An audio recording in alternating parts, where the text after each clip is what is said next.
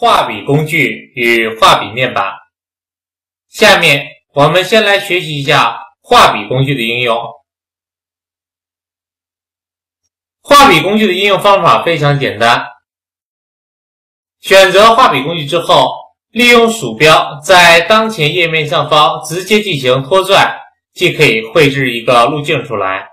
在绘制过程当中，需要将天色转换成为无，边框赋予一款颜色来进行绘制。比如说，在这里面，我们利用当前画笔工具来进行描绘出一个路径。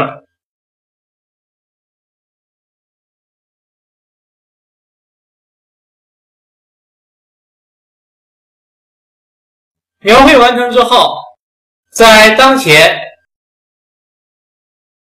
属性当中，我们可以进行调节当前路径描边的粗细，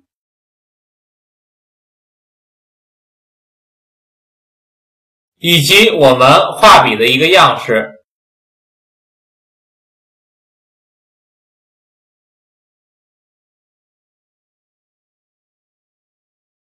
但是画笔的详细样式。在这里面，我们还需要去进行配合画笔面板去进行调节。在默认状态下，画笔面板当中并没有许多画笔，我们需要在外部进行调入。点击下拉菜单，选择打开画笔库。在画笔库当中，这里面有许多画笔库，譬如我们选择艺术效果，在艺术效果当中，我们可以选择。隶属于书法或油墨等。现在我们选择油墨，在当前油墨当中有许多油墨效果，我们可以直接进行选择。选择完成之后，当前油墨效果即添加至画笔面板当中。添加进来以后，我们就可以直接针对当前路径来进行使用我们当前所定义的画笔。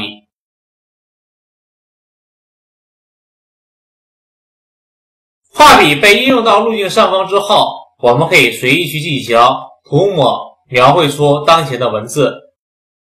设定完成文字之后，由于我们会发现定义完成画笔在路径上方，我们进行放大缩小，而画笔的粗细是不变的，所以我们可能需要随时进行更改当前的画笔描边数据，这样非常的不方便。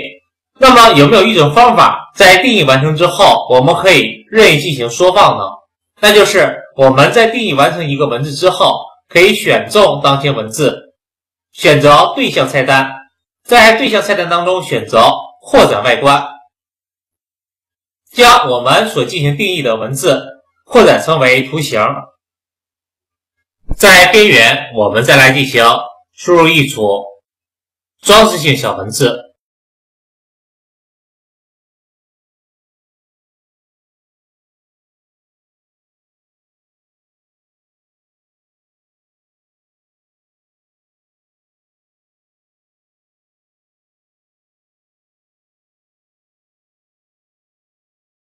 在输入过程当中，可能会发现边缘过粗，那么我们选中当前这一组路径，在上方描边当中，可以将整体的描边调节变细。调节变细之后，我们再来进行整体缩放，缩放至一个合适的大小，再来进行选择对象扩展外观，这样就满足了我们的需求。下面我们来开始绘制后方的扇形。扇形的绘制非常简单，我们选择椭圆形工具，绘制出一个正圆。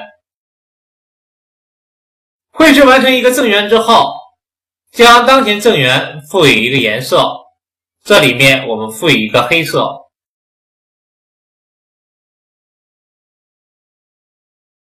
颜色赋予完成之后。双击缩放工具，定义为等比百分之五十，点击复制，完成当前缩放。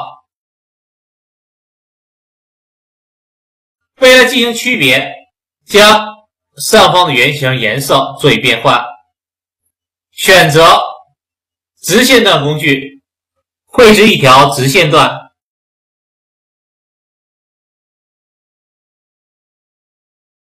赋予直线段一个颜色，选择镜像工具，按住键盘上的 Alt 键，拾取一个镜像中心点，垂直方向复制。复制完成之后，现在我们选中两个圆形和两条线段，在窗口菜单当中调出路径查找器，在路径查找器当中，我们来进行选择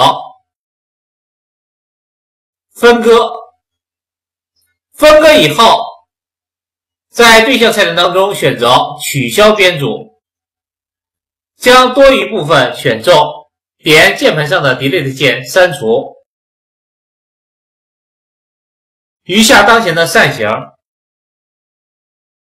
现在我们将当前的文字摆放至扇形上方，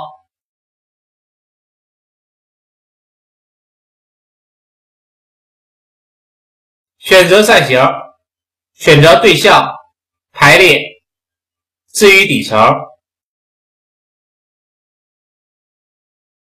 调节当前扇面与文字的比例大小，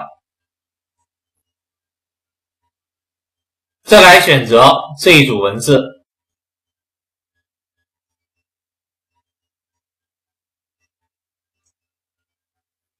选择完成之后，选择对象，对当前这一组文字进行编组，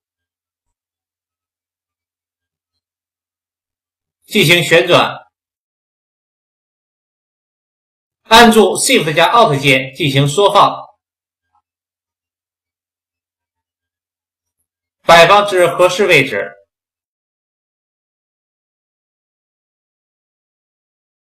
下面我们再来进行绘制扇子的边缘，选择圆角矩形工具，绘制出一个圆角矩形。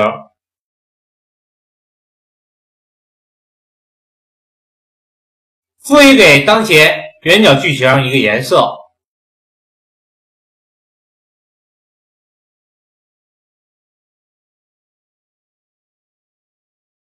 旋转当前圆角矩形，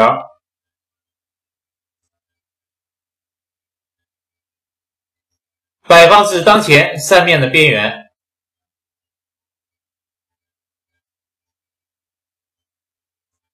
选中当前。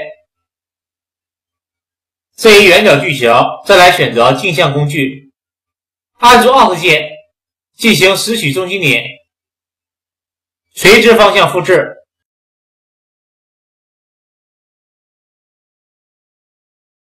将局部进行放大，再次选择圆角矩形。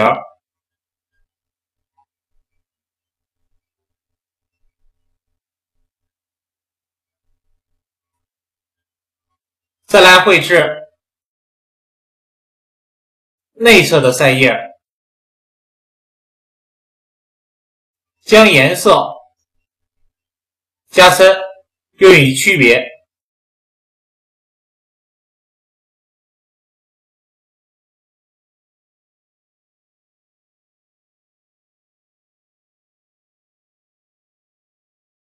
绘制出来一项之后，选择。旋转工具，按住键盘上的 Alt 键，拾取中心点，输入负十度，点击复制，点击配件 Ctrl 加 D，复制多份，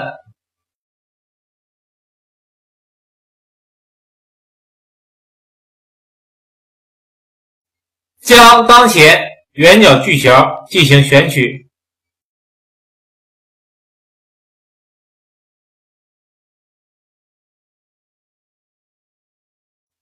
调节位置，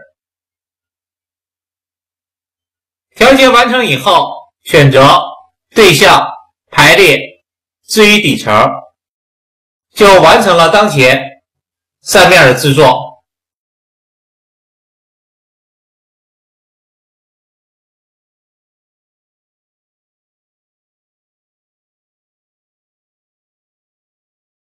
内容已结束，请进入下一节的学习。